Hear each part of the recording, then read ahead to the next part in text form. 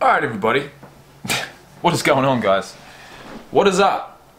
Welcome back to another video. Today's video is just going to be a little bit of story time. And it's not a very old story at all. In fact, it's, it's not even 24 hours old yet. But I thought, you know, with the way that my channel's going recently, I'm pretty open, I'm pretty transparent, and I'm most definitely honest. So I'm going to talk about something that happened to me last night. This is the first time anything like this has ever happened to me before. I think the title of this video is going to be something like I had a health scare, or I had my first health scare, because I did. I did, I truly did. I was standing right here last night at 10 o'clock p.m. It's 12.30 p.m. right now, so it was about 12, 14 hours ago. I was standing right here. Recently I've been under a lot of stress. I have not only with this YouTube channel, in life. Okay, there's been certain changes in my life, my personal life, that have stressed me the fuck out. Um, I've tried to hide it. I try to be positive. I try to be up when I make these videos, um, and all of that, it, as well as I, I have a, a very heavy caffeine habit. I don't know if I'm addicted, but I'm, I'm certainly in a massive habit right now. So every morning I will be drinking coffee. Every, every video that I make, I drink coffee. I drink a lot of coffee, and that means I drink a lot of caffeine, um, which is not good for your heart. And you know, when you do have too much caffeine, you feel your heart pumping. Um, you know, I, I, thinking back, like it's, this, what happened is to do with my heart. Okay, look, I'll talk about all that. I, I just need to tell you what happened. I was standing here I felt this sudden rush of nauseousness come over me. It started in my started in my fingers, it came right up my arms, it came up my stomach, and it was just too much, and I actually collapsed. It was like a, it was a feeling of the, the, the paramedic that, that came pick me up and took me to the hospital. He actually mentioned it was a it was an overwhelming feeling, and that's exactly what it was. I couldn't put it down to anything. It's nothing I've felt before.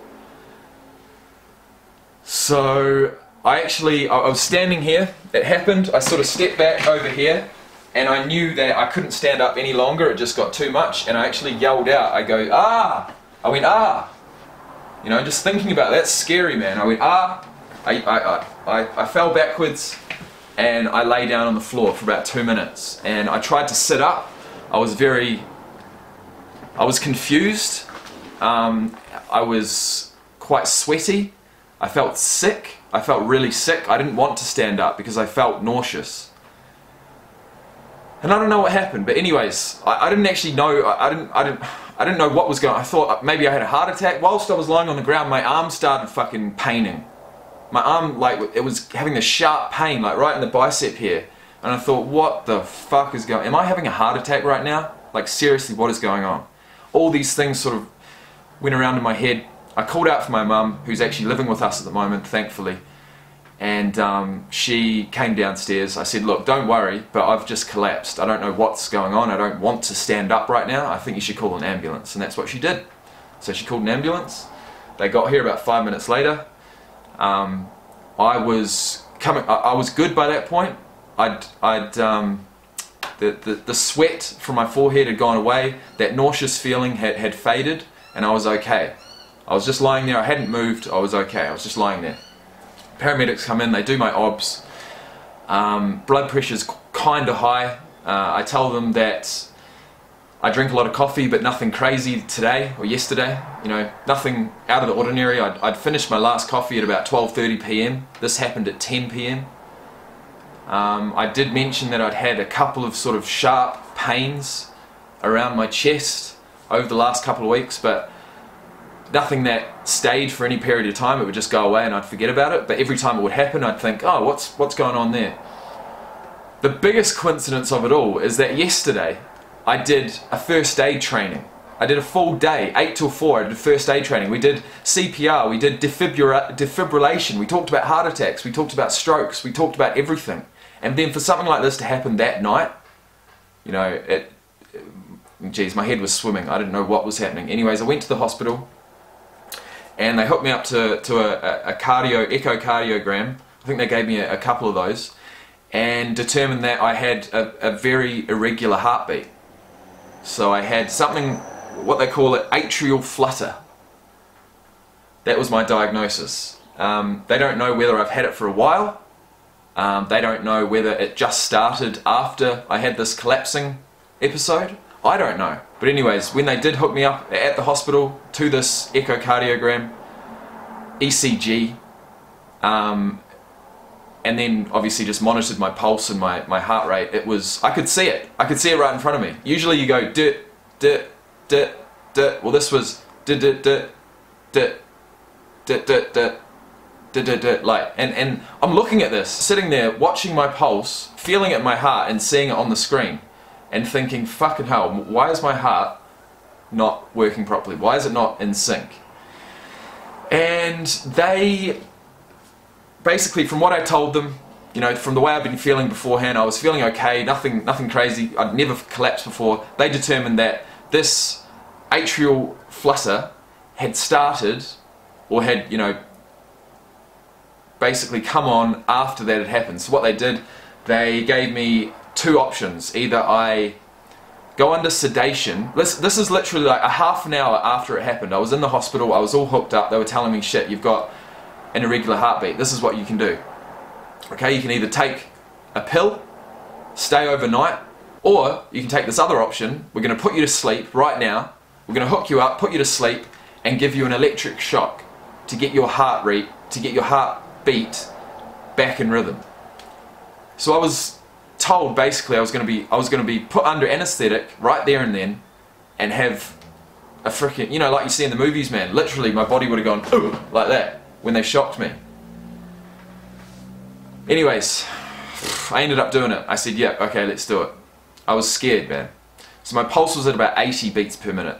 Once they got me hooked up once they said right they put the IV in they said right we're gonna put you to sleep now, my heart rate went from 80 to 160 instantly. Everything was beeping. It was fucking beeping saying, why is his heart rate going so fast? I freaked the fuck out.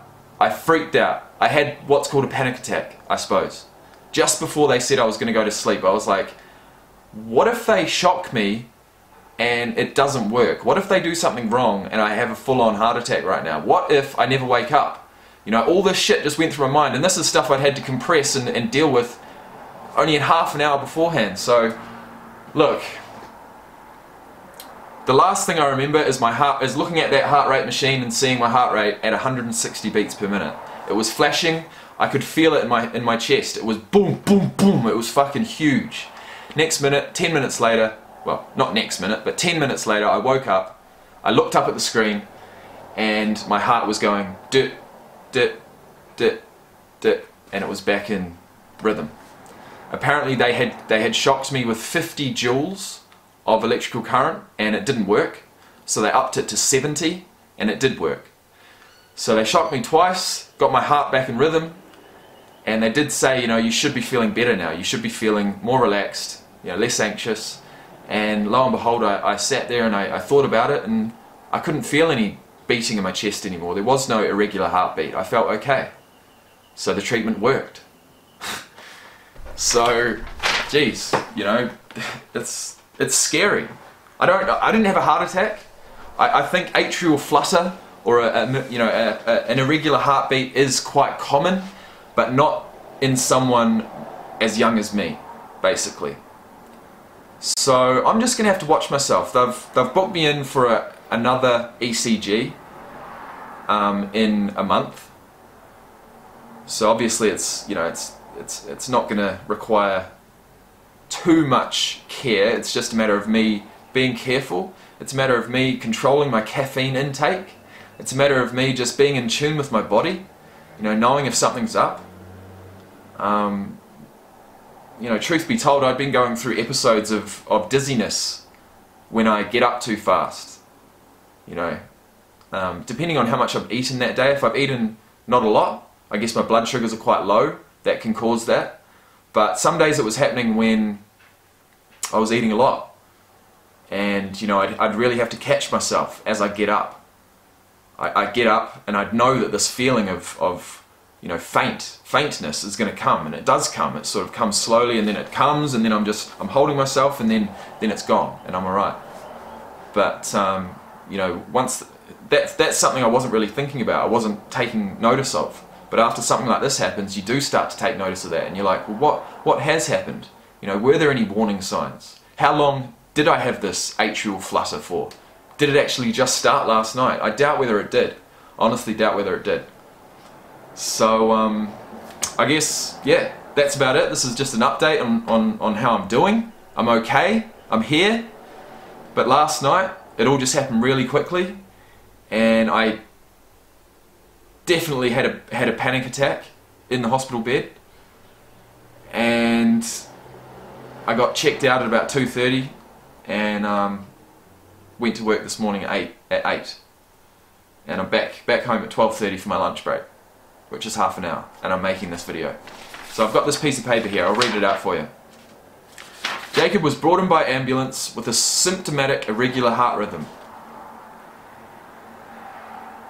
palpitations and unease systematically well systemically well on examination he had an irregular strong pulse BP normal, normal electrolytes, decision made to cardiovert, given, cardiovert, that's what they did. Decision made to cardiovert given clear onset of symptoms. So they're saying that they think the irregular heartbeat, you know, came on after this collapsing episode that I had. In which case they want to treat it as fast as possible. So they successfully synchronized the cardioversion in ED under sedation, observed for a couple of hours afterwards, and remained asymptomatic. We have referred him for a non-urgent outpatient echocardiogram with the result to be copied to his GP. If there is any evidence of a structural cardi cardiac abnormality, GP could consider outpatient cardiology referral. Advise patient to reduce his caffeine intake in case this is a contributing factor. So basically they're saying, we're going to do another echocardiogram. If there's any evidence of structural abnormality in my heart, which they didn't test, they didn't do a, a an ultrasound yesterday, so they're going to do that. And um, I guess if there's any abnormalities, they'll pick them up there. But for the next month, it's basically just monitoring things and being being being careful, man, being being sensible, you know, trying not to stress myself out too much. I guess I would say, you know, don't go too hard in the gym, but I haven't even been, I haven't even been training in the gym. The only training I've been doing is cardio down at the field, and you've seen all that. So I don't know, man. I don't know. But that was an update on my first ever health scare. It really was. It was a scare. It's not something I'd wish on anyone. But I think people do collapse from time to time. People do faint. I didn't go unconscious, you know. So that's something.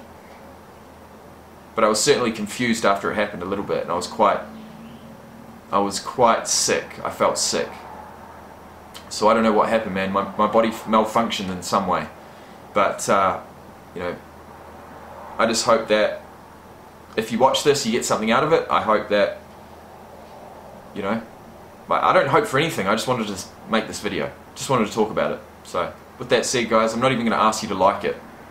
Just, just know I'm here. And we all go through things, and this is just the latest thing that I'm going through. And like I said at the start, my personal life is, is pretty terrible right now. So I've got to work on that. I'll be seeing you. Peace, guys.